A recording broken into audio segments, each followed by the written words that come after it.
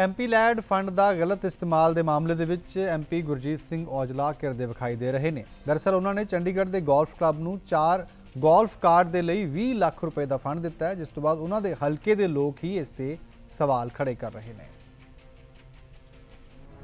ਜਿਸ ਪੈਸੇ ਤੇ ਸੀ ਅੰਮ੍ਰਿਤਸਰ ਦਾ ਹੱਕ, ਜਿਸ ਪੈਸੇ ਤੇ ਸੀ ਅੰਮ੍ਰਿਤਸਰ ਦੇ ਪਿੰਡ ਮੁੱਦਲ ਦਾ ਹੱਕ, ਜਿਸ ਪੈਸੇ ਨਾਲ ਇਸ ਪਿੰਡ ਦਾ ਵਿਕਾਸ ਕੀਤਾ ਜਾਣਾ ਸੀ, ਉਸ ਪੈਸੇ ਨਾਲ ਐਮਪੀ ਸਾਹਿਬ ਨੇ ਚੰਡੀਗੜ੍ਹ ਦੇ ਗੋਲਫ ਕਲੱਬ ਨੂੰ ਭੇਂਟ ਕਰ ਦਿੱਤੀਆਂ, ਗੋਲਫ ਕਾਰਟ, ਜੋ ਕਿ ਸ਼ਾਇਦ ਇੰਨੀ ਜ਼ਿਆਦਾ ਜ਼ਰੂਰੀ ਸੀ ਕਿ ਮੈਂਬਰ ਪਾਰਲੀਮੈਂਟ ਗੁਰਜੀਤ ਔਜਲਾ ਨੇ ਆਪਣੇ ਗੋਦ ਲਏ ਪਿੰਡ ਨੂੰ ਹੀ ਵਿਸਾਰ ਦਿੱਤਾ। ਤੇ ਨਤੀਜਾ ਇਹ ਹੈ ਕਿ ਗੋਲਫ ਕਲੱਬ ਵਿੱਚ ਐਮਪੀ ਸਾਹਿਬ ਦੇ ਨਾਂ ਦੀਆਂ ਪਲੇਟਾਂ ਲੱਗੀਆਂ ਗੱਡੀਆਂ ਘੁੰਮ ਰਹੀਆਂ ਨੇ, ਤਾਂ ਪਿੰਡ ਦੀਆਂ ਗਲੀਆਂ ਦੀ ਹਾਲਤ ਬਦ ਤੋਂ ਬਦਤਰ ਹੋ ਚੁੱਕੀ ਹੈ।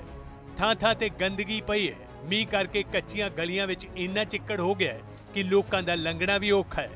ਪਿੰਡ ਵਾਸੀ ਕਹਿੰਦੇ ਨੇ ਕਿ ਐਮਪੀ ਸਾਹਿਬ ਨੇ ਉਹਨਾਂ ਦੇ ਪਿੰਡ ਨੂੰ ਗੋਦ ਤਾਂ ਲਿਆ ਪਰ ਵਿਕਾਸ ਦੇ ਨਾਂ ਤੇ ਇੱਥੇ ਕੁਝ ਵੀ ਨਹੀਂ ਕੀਤਾ। ਪਿੰਡ ਦਾ ਕੋਈ ਵਿਕਾਸ ਨਹੀਂ ਹੋਇਆ ਜੀ। ਵੇਖ ਲਓ ਤੁਸੀਂ ਜਾ ਕੇ ਪਿੰਡ ਦੇ ਵਿੱਚ ਵੇਖ ਲਓ ਸਾਰੀਆਂ ਗਲੀਆਂ ਵਿੱਚ ਪਾਣੀ ਫੰਡਿਆ ਕੇ ਜੜਾਵਾਂ ਦੇ। ਤੇ ਆ ਵੀ ਸੜਕ ਪੁੱਟੀ ਆ। ਬੜਾ ਬੰਦਾ ਹਾਲਿਆ ਪਿੰਡ। ਗੋਦ ਤੇ ਬਾਬਾ ਜੀ ਇੱਕ ਨਾਂ ਮਾਤਰ ਕਹਿ ਸਕਦੇ ਆ। ਜਾਂ ਕਹਿ ਸਕਦੇ ਤੁਸੀਂ ਵੀ ਇੱਕ ਖਬਰਾਂ ਤੇ ਆ ਵੀ ਗੋਦ ਲਿਆ। ਪਰ ਗੋਦ ਲੈ ਦੀ ਹਾਲਤ ਤੁਸੀਂ ਖੁਦ ਆਪਣੇ ਕੈਮਰੇ ਦੱਸ ਰਿਹਾ ਤੁਹਾਡਾ। ਇਹ ਤੋਂ ਲੱਗਦਾ ਜੇ ਕੋਈ ਬੰਦਾ ਬੋਲਣਾ ਬੋਲਣ ਵਾਲਾ ਝੂਠ ਬੋਲ ਸਕਦਾ ਪਰ ਤੁਹਾਡਾ ਕੈਮਰਾ ਤੇ ਝੂਠ ਨਹੀਂ ਨਾ ਬੋਲ ਸਕਦਾ। ਕਈ ਲੀਡਰ ਆਏ ਤੇ ਕਈ ਲੀਡਰ ਗਏ। ਕੋਈ ਨਿਕਾਸ਼ ਨਹੀਂ ਪਾਣੀ ਦਾ। ਗਲੀਆਂ ਦੇ ਵਿੱਚ ਲੋਕਾਂ ਨੇ ਕੰਧਾਂ ਦੇ ਨਾਲ ਮਿੱਟੀਆਂ ਪਾ ਲੀਆਂ। ਇੱਥੇ ਕਈ ਮੈਂਬਰ ਸਰਪੰਚ ਨੇ ਸਾਡੀ ਸੁਣੀ ਨਹੀਂ। ਸਾਡਾ ਸਾਡਾ ਘਰ ਬਿਲਕੁਲ ਪਾਣੀ ਦੇ ਵਿੱਚ ਜੋ। ਇਹ ਵੇਖ ਲਓ। ਸਾਡੇ ਬੱਚੇ ਲੰਘਣ ਦੀ ਸਾਨੂੰ ਤੰਗੀ ਬਹੁਤ ਜ਼ਿਆਦੀ ਹੈਗੀ। ਦੂਜੇ ਪਾਸੇ ਆਪਣੇ ਉੱਤੇ ਲੱਗ ਰਹੇ ਇਲਜ਼ਾਮਾਂ ਤੇ ਐਮਪੀ ਗੁਰਜੀਤ ਔਜਲਾ ਸਫ਼ਾਈ ਦਿੰਦੇ ਨੇ। ਦਾਵਾ ਕਰਦੇ ਨੇ ਕਿ ਸਾਰਾ ਕੁਝ ਉਹਨਾਂ ਨੇ ਖੇਡਾਂ ਦੇ ਵਿਕਾਸ ਦੀ ਖਾਤਰ ਕੀਤਾ।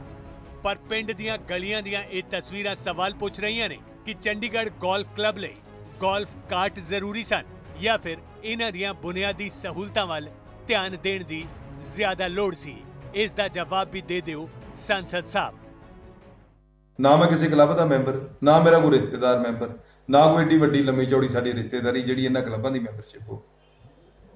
ਤੇ ਕਿਸ ਬੈਨੀਫਿਟ ਲਈ ਮੈਂ ਕੀਤਾ ਹੈ? ਜੇ ਤੁਸੀਂ ਇਹ ਆਖੋ ਕਿ ਸਾਬਕਾ ਫੌਜੀ ਤੇਰੇ ਰਿਸ਼ਤੇਦਾਰ ਹੈ ਤੇ ਮੇਰੇ ਦੇਸ਼ ਦੇ ਸਾਰੇ ਸਾਬਕਾ ਫੌਜੀ ਮੇਰੇ ਰਿਸ਼ਤੇਦਾਰ ਹੈ। ਮੈਂ ਉਹਨਾਂ ਲਈ ਜੋ ਵੀ ਕਰਨਾ ਹੋਊਗਾ ਮੈਂ ਜ਼ਰੂਰ ਕਰਾਂਗਾ। ਜੇ ਕੋਈ ਇਹ ਕਵੇ ਕਿ ਮੈਂ ਕੋਈ ਆਪਣੇ ਬੈਨੀਫਿਟ ਲਈ ਕੀਤਾ ਜਾਂ ਮੈਂ ਮੈਂਬਰ ਬਣਿਆ, ਤਦ ਗੱਲ ਹੁੰਦੀ ਹੈ ਨਾ। ਮੈਂ ਤੇ ਕੋਈ ਕਿਸੇ ਚੀਜ਼ ਦੀ ਮੈਨੂੰ ਤਾਂ ਲੋੜ ਹੀ ਨਹੀਂ ਹੈਗੀ। ਬਟ ਇੱਕ ਗੱਲ ਜ਼ਰੂਰ ਹੈ। ਜਿੱਥੇ ਸਪੋਰਟਸ ਅੱਗੇ ਵਧੇਗੀ, ਚਾਹੇ ਕੋਈ ਵੀ ਸਪੋਰਟਸ ਹੋਏਗੀ, ਆਪਾਂ ਜ਼ਰੂਰ ਉਹਦੇ ਵਾਸਤੇ ਖੜੇ ਹਾਂ, ਡਟ ਕੇ ਖੜਾਂਗੇ। ਅੰਮ੍ਰਿਤਸਰ ਤੋਂ ਕਾਂਗਰਸੀ ਐਮਪੀ ਗੁਰਜੀਤ ਔਜਲਾ ਵੱਲੋਂ ਆਪਣੇ ਲੈਡ ਫੰਡ ਵਿੱਚੋਂ 20 ਲੱਖ ਰੁਪਏ ਚੰਡੀਗੜ੍ਹ ਗੋਲਫ ਕਲੱਬ ਨੂੰ ਦਿੱਤੇ ਗਏ ਤਾਂ ਜੋ ਉਹ ਚਾਰ ਅਜਿਹੀਆਂ ਗੋਲਫ ਕਾਰਟ ਖਰੀਦ ਸਕਣ। ਹੁਣ ਇਲਜ਼ਾਮ ਇਹ ਵੀ ਲੱਗ ਰਹੇ ਨੇ ਕਿ ਕਲੱਬ ਦੀ ਮੈਂਬਰਸ਼ਿਪ ਲੈਣ ਲਈ ਐਮਪੀ ਸਾਹਿਬ ਨੇ ਇਹ ਫੰਡ ਦਿੱਤਾ ਜਦਕਿ ਵਿਰੋਧੀ ਇਸ ਨੂੰ ਜਨਤਾ ਦੇ ਪੈਸੇ ਦੀ ਦੁਰਵਰਤੋਂ ਕਰਾਰ ਦੇ ਰਹੇ ਨੇ ਅਤੇ ਔਜਲਾ ਦੀ ਸੰਸਦ ਮੈਂਬਰਸ਼ਿਪ ਰੱਦ ਕਰਨ ਦੀ ਮੰਗ ਕਰ ਰਹੇ ਨੇ।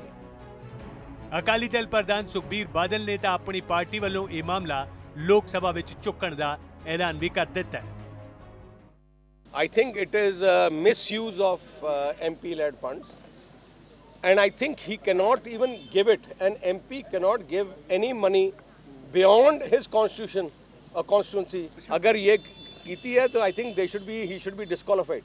I will ask my members to raise it in Lok Sabha and take and I'll request the speaker to take action against him.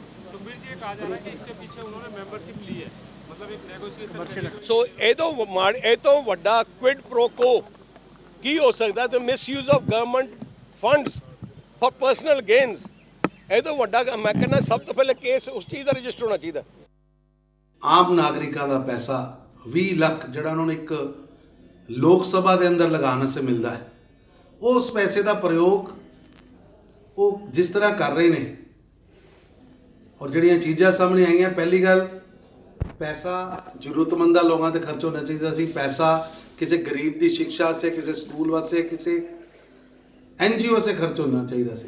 ਲੇਕਿਨ ਉਹਦੇ ਵਿਪਰੀਤ ਐਮਪੀ ਸਾਹਿਬ ਉਹ ਪੈਸਾ ਚੰਡੀਗੜ੍ਹ ਦੇ ਆਪਣੇ ਅਮੀਰ ਦੋਸਤਾਂ ਨੂੰ ਖੁਸ਼ ਕਰਨ ਵਾਸਤੇ ਉਤੋਂ ਦੇ ਬੋਰਡ ਕਲੱਬ ਨੂੰ ਦੇ ਰਹੇ ਨੇ। ਮੈਂ ਸਮਝਣਾ ਜਿੱਥੇ ਐਮਪੀ ਲੈਂਡ ਫੰਡ ਦੀ ਜਿਹੜੀ ਆਤਮਾ ਹੈ ਉਹਨਾਂ ਤੱਕ ਹੈ ਔਰ ਦੂਸਰਾ ਅੰਮ੍ਰਿਤਸਰ ਦੇ ਲੋਕਾਂ ਦੇ ਨਾਲ ਧੋਖਾ ਹੈ, ਜਿਨ੍ਹਾਂ ਨੇ ਉਹਨਾਂ ਨੂੰ ਸੰਸਦ ਬਣਾ ਕੇ ਭੇਜਿਆ ਸੀ।